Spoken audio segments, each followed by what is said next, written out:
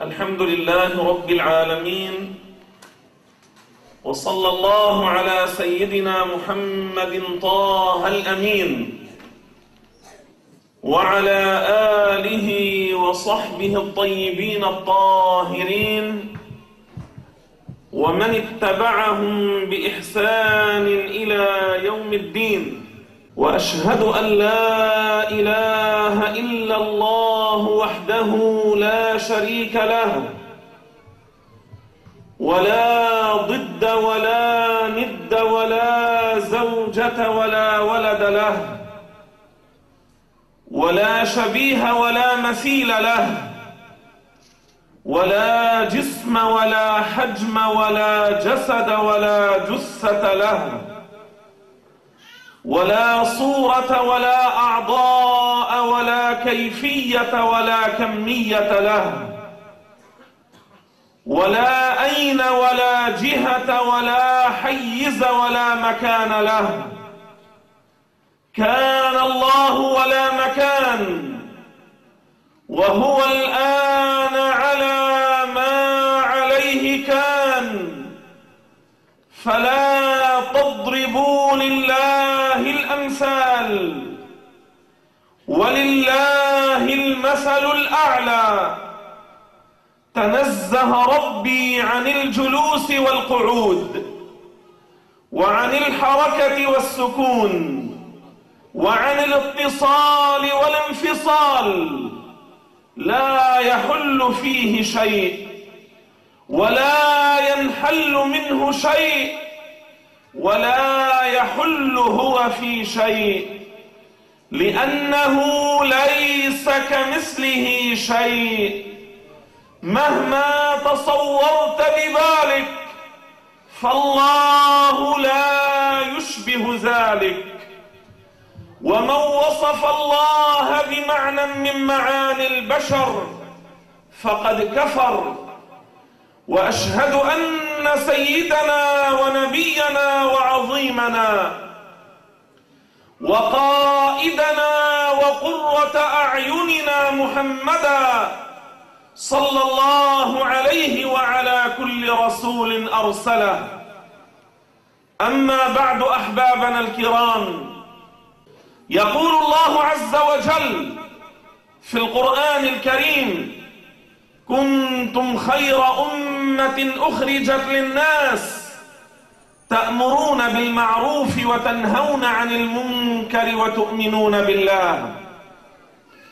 وقال رسول الله صلى الله عليه وسلم فمن أراد بحبوحة الجنة فليلزم الجماعة. والمقصود بالجماعة في هذا الحديث السواد الأعظم أي جمهور الأمة الإسلامية لأنه صلى الله عليه وسلم قال وعدني ربي أن لا يكثر أمتي جملة. فهذه الأمة محفوظة من أن تزيغ أو أن تنحرف جملة لذلك لا عبرة بمن شذ. ولا عبرة بمن انحرف ولا عبرة بمن انقلب على عقبيه خسر الدنيا والآخرة. قال حبيب الله محمد صلى الله عليه وسلم من شذ شز إلى النار ومن أراد السعادة الأبدية فليثبت على هذه العقيدة الإسلامية. على عقيدة الأشاعرة والماتريدية لأنها مؤيدة من القرآن والحديث والإجماع.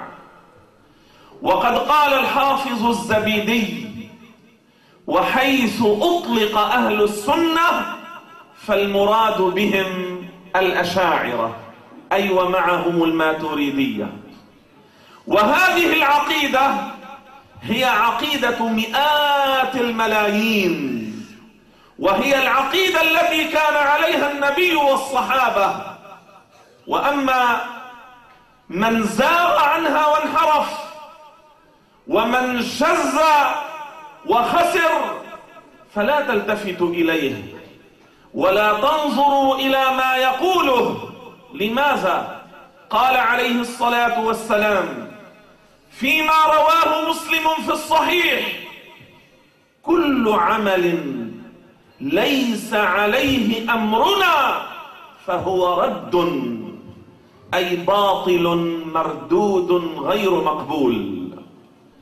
وأهل السنة والجماعة اليوم هم على العقيدة التي كان عليها محمد الفاتح رضي الله عنه.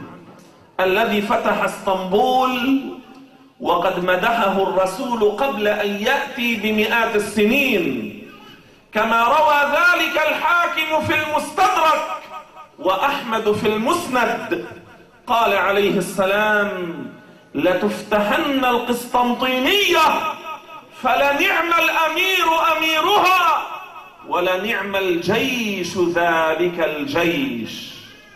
هؤلاء كانوا أشاعر وماتريدية فالسلطان محمد الفاتح كان من حيث العقيدة ماتريديا والجيش الذين معه كانوا أشاعر وماتريدية والسلطان صلاح الدين الأيوبي الذي حرر بيت المقدس كان أشعري العقيدة. فإذا علماء وفقهاء وسلاطين وأولياء هذه الأمة أشاعر وماتريدية. فهم السواد الأعظم هم الجمهور فهنيئا لمن ثبت معهم. وهذه العقيدة باختصار ما هي؟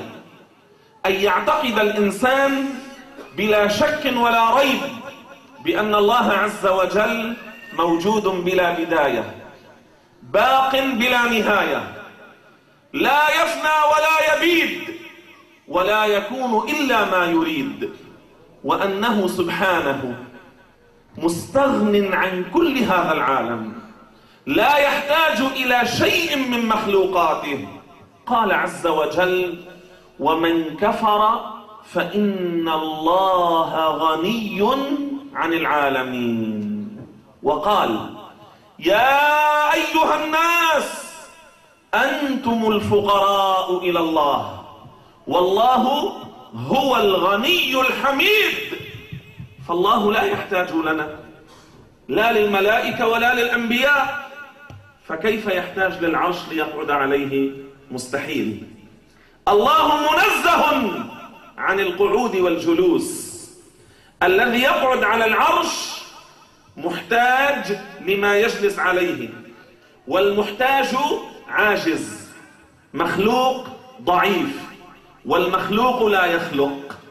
إذا الله منزه عن الجلوس منزه عن القعود. لأن الجلوس والقعود لا يكون إلا في المخلوق وفي لغة العرب لا يطلق الجلوس إلا على من له نصفين نصف أعلى ونصف أسفل. ينثني بعضه على بعض والجسم القسم الأسفل يتصل بما يجلس عليه. وهذا صفة المخلوق لا يجوز على الله. لذلك قال ربنا في القرآن الكريم فلا تضربوا لله الأمثال. وأما من وصف الله بالجلوس فقد شبهه بالإنس. والجن والملائكة والبهائم. وتنزه الله عن ذلك. تقدس الله هو نزه نفسه. هو قال في القرآن ليس كمثله شيء. هذه الآية تنزه الله عن كل صفات المخلوقين. انتبهوا. ما قال ليس كمثله الماء؟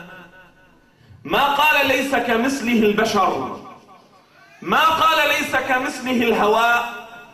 ما قال ليس كمثله الملائكة؟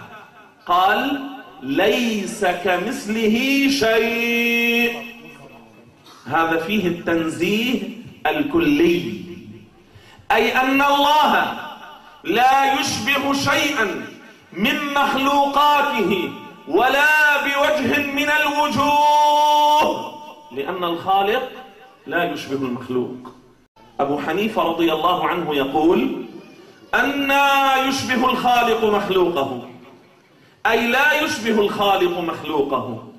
فالله الذي خلقنا وخلق هذا العالم منزه عن الجلوس والقعود عن الشكل عن الصورة عن الحجم عن الطول والعرض والعمق والسمك والأعضاء. والأدوات والجوارح والتركيب منزه عن التغير والتطور والتبدل منزه عن التأثر والانفعال منزه عن الإحساس والشعور لأن هذا من صفات المخلوق.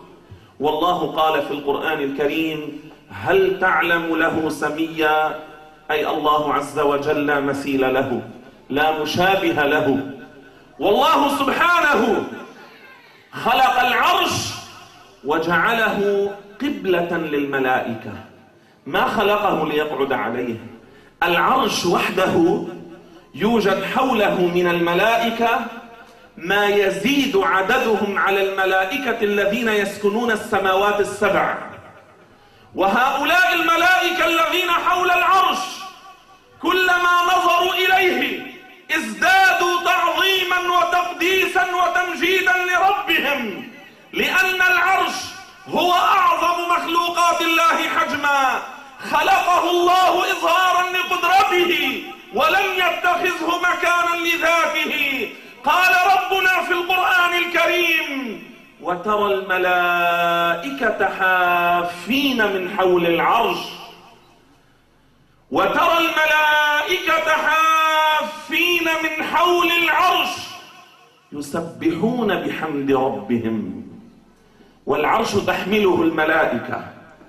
فلو كان الله عز وجل قاعدا على العرش وتنزه عن ذلك لكان محمولا من قبل الملائكة. والله عز وجل قال في القرآن الكريم ولم يكن له كفوا أحد. ليس لله شبيها أحد. لا يجوز على الله أن يكون محمولا من قبل الملائكة. إذا العرش هو قبلة الملائكة. يصلون الذين حوله في صلاتهم يتوجهون إليه. وبعضهم يسجد على العرش لأنه لا يوجد ملك لا يصلي. كل الملائكة يصلون الصلوات الخمس حتى حملة العرش. لا يوجد ملك لا يصلي. بل ورد في صحيح مسلم ويصفون كما تصفون. أن يقومون, أن يقومون صفوفا للصلاة جماعة. ثم العرش. خلق من خلق الله أم لا؟ بلى. من خلقه؟ من أوجده؟ من ربه؟ من خالقه؟ من المتصرف فيه كما يريد؟ كيف يحتاج إليه؟ كيف يقعد عليه؟ كيف يجلس عليه؟ أليس هو الذي أوجده؟ يعني كان موجودا قبله. إذا لا يجلس عليه. هذا تناقض. كيف يكون هو الذي خلقه وهو جالس عليه؟ تناقض. الله خالق العرش وكل هذا العالم. لذلك أصل عقيدة أهل السنة الله موجود بلا مكان. الله موجود بلا مكان. هذه الكلمة ليست جديدة. هذا معنى ليس كمثله شيء. لأن الذي يحتاج للمكان عاجز جسم مخلوق ضعيف والعاجز لا يخلق. إذا ربنا عز وجل لا شبيه له ولا مثيل. موجود بلا مكان. قال سيدنا علي كان الله ولا مكان. وهو الآن على ما عليه كان. قال الإمام الشافعي رضي الله عنه وأرضاه. هذا الإمام إمامنا الشافعي من مدحه الرسول صلى الله عليه وسلم قبل مجيئه في حديثه الذي أخرجه الترمذي. لا تسبوا قريشا فإن عالمها يملأ طباق الأرض علما ونورا. هذا فسر بالإمام الشافعي. لماذا؟ لا يوجد في الأئمة الأربعة قرشي وسع علمه وانتشر في الأرض كالشافعي. ثم هذا الإمام ماذا يقول؟ البارئ تعالى لا مكان له. البارئ تعالى أي الخالق. لا مكان له. وماذا قال الشافعي؟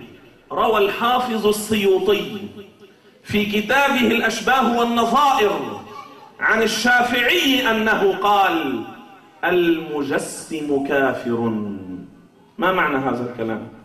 من شبه الله بخلقه من اعتقد في الله أنه جسم صغير أو وسط أو كبير أو أنه ضوء أو ظلام أو روح أو قاعد في السماء أو جالس على العرش الإمام الشافعي ماذا يقول عنه؟ كافر. المجسم كافر. هذا نص الشافعي. وقال الشافعي رضي الله عنه من اعتقد أن الله جالس على العرش فهو كافر. الأول رواه الحافظ السيوطي والثاني ابن المعلم القرشي عن الشافعي. ثم إن كل علماء الإسلام اتفقوا على تكفير المجسمة والمشبهة هذه ليست مسألة خلافية. هذه مسألة إجماعية. تعرفون لماذا؟ لأن من شبه الله بخلقه كذب هذه الآية. من شبه الله بخلقه كذب القرآن. ومن كذب القرآن ماذا يكون؟ من كذب الله ماذا يكون؟ هذا هو. فالمشبه مكذب لله. المجسم مكذب للقرآن. وهذا لا يشك عاقل في كفره. وكذلك يجب علينا أن نعتقد أن ما ورد في القرآن من الآيات المتشابهات لا يجوز حملها على ظاهرها بل لها معنى يليق بالله. الرحمن على العرش استوى. ليس معناها جلس ليس معناها قعد ليس معناها المحاذاة. ليس معناها الاتصال. ما معنى الرحمن على العرش استوى؟ قال القاضي أبو بكر ابن العربي المغربي المالكي استوى في لغة العرب لها خمسة عشر معنى. في حق الله بماذا تفسر؟ بما يوافق اللغة والقرآن والحديث والإسلام. فماذا تفسر؟ كما جاء في معنى قول علي رضي الله عنه. إن الله خلق العرش إظهارا لقدرته ولم يتخذه مكانا لذاته. الرحمن على العرش استوى! فسرتها آية ثانية. وهو الواحد القهار. فيكون المعنى متصرف في العرش وفي كل العالم كما يريد. هذا معناها. الرحمن على العرش استوى! أي هو متصرف في العرش وفي كل هذا العالم كما يريد بدليل قول الله عز وجل وهو الواحد القهار أما من حملها على معنى الجلوس والقعود والمحاذاة والمماسة فقد كذب ليس كمثله شيء فلا يكون من المسلمين. قال إمامنا الرفاعي الكبير رضي الله عنه وأمدنا بمدده ونفعنا ببركاته. صونوا عقائدكم من التمسك بظاهر ما تشابه من الكتاب والسنة. فإن ذلك من أصول الكفر. ما معنى هذا؟ أي أن من حمل الآيات المتشابهات على الظاهر من حمل الأحاديث المتشابهة على الظاهر فإنه يصل إلى الكفر يقع في الكفر. فإن ذلك من أصول الكفر موقع في الكفر موصل إلى الكفر مؤد إلى الكفر. لماذا؟ لأنه يكون جعل القرآن متضاربا. والقرآن يصدق بعضه بعضا لا يكذب بعضه بعضا. وأما الآية الرحمن على العرش استوى فمعناها كما جاء في قول الله عز وجل وهو الواحد القهار وليس معناها أنه جلس أو قعد. قال الإمام ابن بطال هذا أحد شارحي البخاري قبل الحافظ ابن حجر العسقلاني صاحب فتح الباري. هذا ابن بطال من علماء القرن الرابع الهجري. يقول في شرحه على البخاري يجب يجب صرف الأخبار المتشابهة الآيات الأحاديث يقول يجب صرفها عن الظاهر. لا يجوز حملها على الظاهر لأنك إن فعلت ذلك وقعت في التشبيه والتجسيم. ماذا تقول؟ لها معنى يليق بالله. ليس كمثله شيء. لماذا قال الحافظ البيهقي راويا عن مالك والليث بن سعد وعن الأوزاعي في الأحاديث المتشابهة أمروها كما جاءت بلا كيف. كلمة بلا كيف وحدها تأويل. كلمة بلا كيف وحدها معناه عدم الحمل على الظاهر صرفها عن ظاهرها. هذا معنى بلا كيف. ويجب أيضا أن نعتقد أن قول الله عز وجل الله نور السماوات والأرض ليس معناه أنه ضوء انبس وانبسق وانتشر. في السماوات وفي الأرض. لا. الله نور السماوات والأرض. روى البيهقي عن ابن عباس رضي الله عنهما. قال في تفسيرها الله هادي المؤمنين لنور الإيمان. أليس قال في القرآن يهدي الله لنوره من يشاء؟ فالإيمان نور الله. ليس معناه أن الله ضوء الأضواء والأنوار. من خلقها؟ والخالق لا يشبه المخلوق. أليس قال في القرآن وجعل الظلمات والنور بإجماع المفسرين هنا وجعل وخلق والخالق لا يشبه المخلوق. قال الفقيه الحنفي الصوفي عبد الغني النابلسي من اعتقد أن الله ضوء ملأ السماوات والأرض أو أنه جسم قاعد فوق العرش فهو كافر وإن زعم أنه مسلم. ويجب الاعتقاد بأن الله سبحانه وتعالى هو الذي خلق هذا العالم وما فيه فكل شيء بخلق الله ومشيئته. قل الله خالق كل شيء والله خلقكم وما تعملون. ويجب الاعتقاد بأن الملائكة عليهم السلام أجسام نورانية. ليسوا ذكورا وليسوا إناثا. لا يأكلون ولا يشربون. لا يعصون الله ما أمرهم ويفعلون ما يؤمرون. وهنا تنبيه مهم. انتشر بين الجهال كلمة فاسدة مكذبة للقرآن وهي قولهم والعياذ بالله إبليس طاووس الملائكة أو رئيس الملائكة أو شيخ الملائكة وهذا ضد القرآن.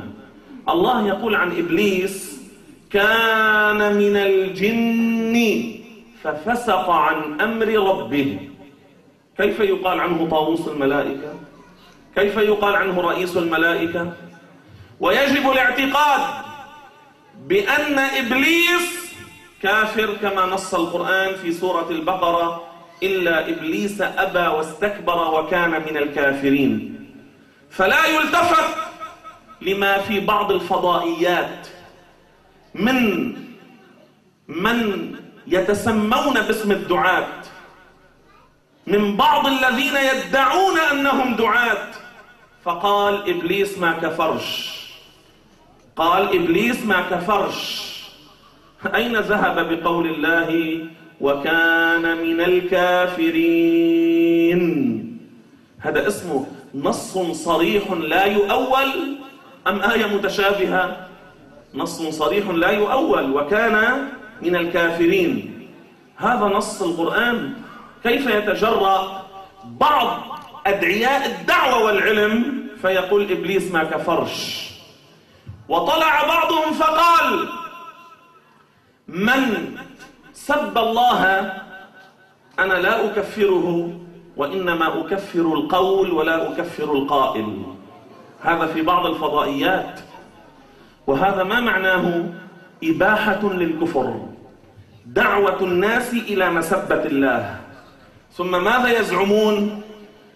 قالوا من سب الله أو الإسلام أو القرآن إن لم يكن ناويا شارحا صدره قاصدا معتقدا لذلك بزعمهم لا يكفر.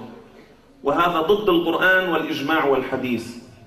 لأن من سب الله خرج من الإسلام بإجماع الأمة ولا يسأل عن نيته ولا عن قصده.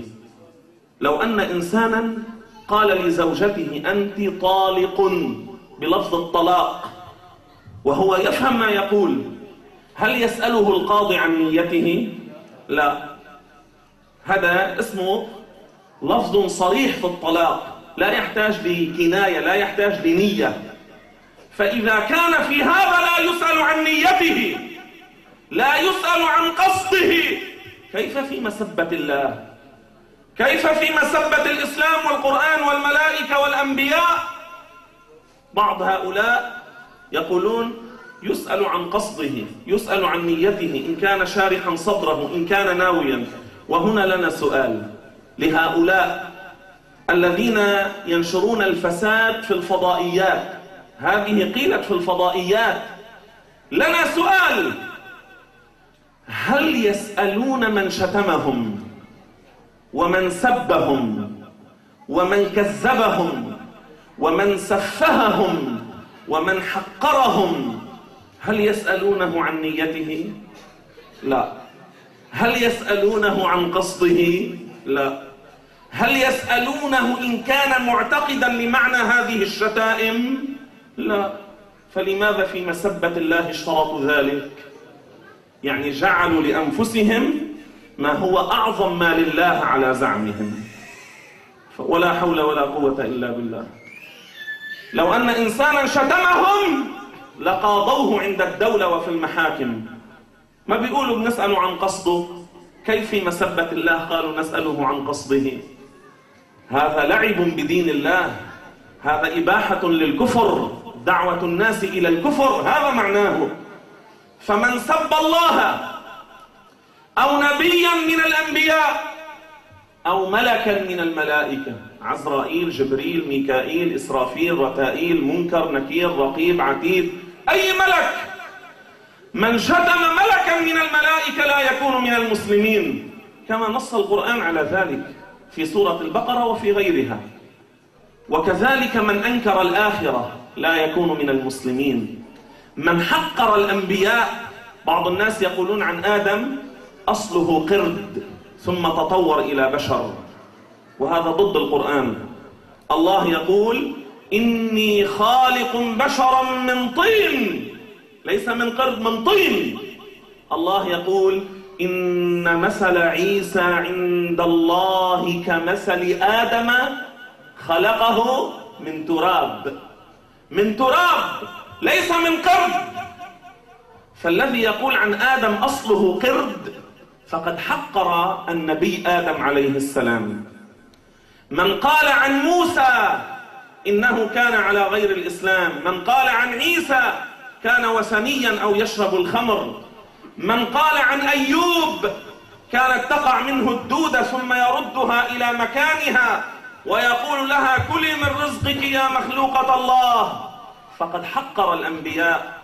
من نسب ليوسف الزنا من نسب الرذائل للأنبياء لا يكون من المسلمين. ومن وقع في الكفر في أي كفرية من الكفريات كيف يرجع للإسلام؟ بالشهادتين. ليس بقول أستغفر الله. بالشهادتين يعود للإسلام وبعد الشهادة إن قال أستغفر الله ينفعه. أما بدون الشهادة لا يرجع للإسلام. هذه نقل فيها الإجماع الإمام أبو بكر ابن المنذر في كتابه الإشراف. مسألة إجماعية. المرتد لا يرجع للإسلام إلا بالشهادتين. ليس بقول أستغفر الله. فإذا سمعتم إنسانا وقع في الكفر لا تقولوا له قل أستغفر الله قولوا له تشهد. بعد الشهادة بعدما يتشهد ليرجع للإسلام إن قال أستغفر الله ينفعه. أما بدون الشهادتين لا يرجع للإسلام. وفي نهاية هذه الكلمة أذكركم بما أرسله إليكم مولانا الشيخ عبد الله مرارا وتكرارا وهو الثبات في جمعيتكم في جمعية المشاريع الخيرية الإسلامية لأنها تدعو إلى معتقد أهل السنة والجماعة إلى السواد الأعظم وجمهور الأمة. أذكركم بما طلبه مولانا الشيخ عبد الله منكم ومنا. بالأمر بالمعروف والنهي عن المنكر مناصرة الحق الدفاع عن الدين التحذير من الكفر وعدم الاسترسال في ملذات الدنيا تقليل التنعم ترك الغضب الانصياع للحق الانصياع للدين والانتصار للدين لا لأنفسنا. وإياكم أن تتأثروا بالتشويشات والأكاذيب والافتراءات التي تطلع كل مرة من مكان وكل مرة بلباس ولبوس وهيئة تختلف عن الأولى والثانية. يعني مهما تكررت وتنوعت وتعددت هذه الافتراءات على مولانا الشيخ وجمعيته لا تصدقوها وأنتم أهل بلده. وأنتم أهله وأحبابه. هذا الرجل الذي جاء إلى بلادنا من نحو يعني نصف قرن من نحو نصف قرن. أهل بلدنا في بلاد الشام في لبنان الناس لا يعرفون أكل أكل الخبز مع الزيت. لا يعرفون الخبز مع الشاي. لا يعرفون الخبز مع اللبن. يعرفون الخبز مع اللبن والزيت. أما الشيخ الزاهد أكله أن يغمس الخبز في الزيت ويأكل. هذا إن وجد الزيت. أو يضع على الخبز الشاي. يقول نسرد بالشاي. يعمل سريدا خبز وشاي ويأكل. هذا الرجل الذي رأيناه وخبرناه. ما طلب يوما الدنيا. عمره قريب المئة سنة. حفظه الله وبارك في عمره. لو كان يريد الدنيا إلى متى يصمد؟ إلى متى يدخرها؟ لو كان يريد الدنيا فإلى أي عمر ينتظرها؟ هذا الرجل الذي له الفضل في منع مسبة الله في لبنان. لبنان بعضكم لا يعرفه وبعضكم يعرف. مسبة الله كانت منتشرة في الشوارع. في الطرقات بين الكبار والصغار إلا من حفظه الله. كان بعض الناس إذا بدأ ولده بالكلام قال له بابا سبل ربه. هذا الرجل الصالح. منع مسبة الله في لبنان. هذا الرجل الثابت الصابر. كذب عليه افتري عليه حورب. بشتى الوسائل حوربت جماعته أتباعه جمعيته. تعرفون لماذا؟ لأن بعض الذين حاربوه يريدون منه أن يغير معتقده ومنهجه الذي هو منهاج أهل السنة. وقد عرض عليه ذلك. قيل له ولأتباعه. اتركوا التحذير من المشبهة والمجسمة. ومن فلان وفلان وخذوا ما أردتم من المال. تعرفون ماذا قال الشيخ؟ قال نحن لو قعدنا في بيوتنا نصلي سنموت. فكيف نترك الأمر بالمعروف والنهي عن المنكر؟ الشيخ قال الأمر بالمعروف والنهي عن المنكر لا يقدم أجلا ولا يؤخر رزقا. أين التوكل على الله؟ أين الصدق مع الله؟ أين الثبات في الدفاع عن دين الله؟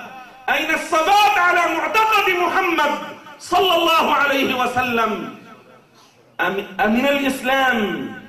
أن يغير الإنسان كل يوم معتقده لا هذا ليس من الإسلام. نحن على عقيدة النبي محمد. لا نتراجع عن ذلك. نسأل الله أن يميتنا على ذلك. لذلك الشيخ لم يداهن. لو داهنهم لمدحوه وأعطوه. ولكنه بإخلاصه لله وبصبره في خدمة دين الله انظروا أتباعه في كل الأرض في كل الدنيا مؤسسات جمعيات مدارس جامعات معاهد مؤسسات رياضية ثقافية إعلامية اجتماعية صحية في كل الأرض في كل الدنيا. هذا ثمرة الإخلاص والثبات على الحق. لا تصدقوا الإشاعات! لا تتأثروا بالافتراءات فأنبياء الله افتري عليهم وأولياء الله حوربوا وقتل من قتل منهم. نبي الله يحيى نبي. أليس ذبح ذبحا بالسكين؟ وهو نبي كريم. زكريا عليه الصلاة والسلام نشر بالمنشار وهو حي. هذه سنة الله في الدعاة إلى دينه. حبيبكم نبي الله رسول الله محمد في وطنه في مكة المكرمة. أوزي وحورب. شتم. قتل من قتل من أصحابه. أخرجوه. لماذا؟ لأجل الدين والدعوة. فهل عابه ذلك؟ لا. ولا يعيب طرف نعله المبارك. وهكذا أيها الأحبة حبيبكم وشيخكم مولانا المحدث الشيخ عبد الله الحبشي تلميذ الأقطاب مريد الأقطاب الكبار العمالقة في العلم والولاية كالشيخ محمد عبد السلام رضي الله عنه كالشيخ أحمد عبد المطلب الشيخ أحمد عبد المطلب هو أحد شيوخ شيخنا. والشيخ أحمد عبد المطلب كان إمام ورئيس المدرسين في الحرم المكي أيام السلطان عبد الحميد. كان الشيخ أحمد عبد المطلب في شهر رجب وشعبان ورمضان يختم القرآن كل يوم مرتين. تعرفون ماذا قال لشيخكم؟ الشيخ أحمد عبد المطلب. الذي قال لنا الشيخ كان يشبه أحمد عبد المطلب بالملائكة لكثرة عبادته. في الليل والنهار في العبادة. في الليل والنهار في العلم والعبادة والطاعات. كان يشبه بالملائكة. هذا الشيخ أحمد عبد المطلب. تعرفون ماذا قال لحبيبكم الهرري؟ قال له راقبني. وهذا من عشرات السنين. يعني الشيخ كان بعد في مقتبل العمر لكن لقوته في العلم ماذا قال له شيخه أحمد عبد المطلب؟ راقبني! إن رأيت مني مكروها فنبهني. معناه كم يكون الشيخ قوي في العلم في أيام شبابه. الشيخ محمد عبد السلام هذا الرجل المشهور بالولاية والكرامات والعلم. ماذا كان يقول لشيخنا لما كان الشيخ بعد طفلا كان يأتي إلى بيت أهل الشيخ أي إلى أهل والد شيخنا؟ قال الشيخ فيستتبعني يأخذني يحفظني العلم. في هرر كان مشهور كتاب اسمه الأنوار لأعمال الأبرار تأليف الشيخ يوسف الأردبيل الشافعي هذا كتاب ضخم. يأتي الشيخ محمد عبد السلام فيسأل عني ويقول أين عبدوش ملائكة؟ يقول أين عبدوش ملائكة؟ قالوا له لماذا تقول له عبدوش ملائكة؟ قال لأني أرى الملائكة حوله. قال لأني أرى الملائكة حوله. هذا الشيخ عبد الله الهرري الحبشي الرجل الزاهد الرجل الصابر الرجل العابد العالم الفقيه المحدث الحافظ المفسر هو حامي حمى الملة والدين في هذا العصر. هو حصن أهل السنة في هذا العصر. هو قلعة التوحيد في هذا الزمان. اثبتوا على نهجه.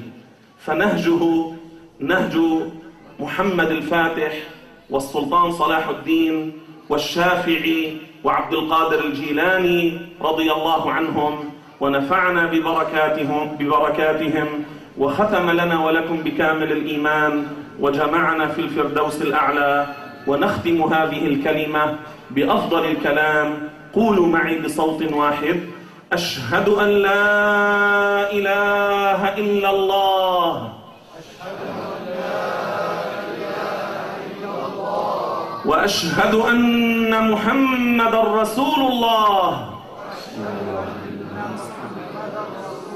بارك الله بكم جزاكم الله خيرا والسلام عليكم ورحمة الله وبركاته.